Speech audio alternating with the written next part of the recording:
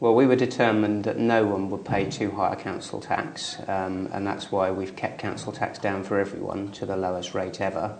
But in addition to that, we have um, we are introducing a discount for pensioners because we think particularly over the last 10 years they've suffered as a result of excessive council tax rises.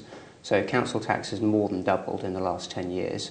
Um, people who are earning, their, um, their earnings on average have kept up to some extent with that figure, but people who are on fixed incomes, who are pensioners, their income in real terms has dramatically declined. So we've got that 10 years that we're trying to address that unfair situation.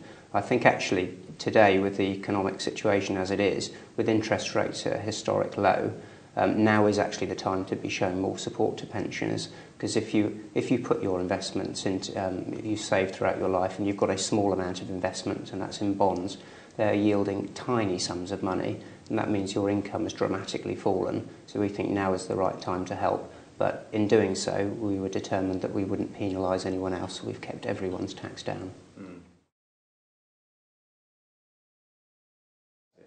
No, I mean, for many, many years, I've sat in meetings with pensioner representatives and they've told us how badly they're suffering as a result of these excessive council tax rises.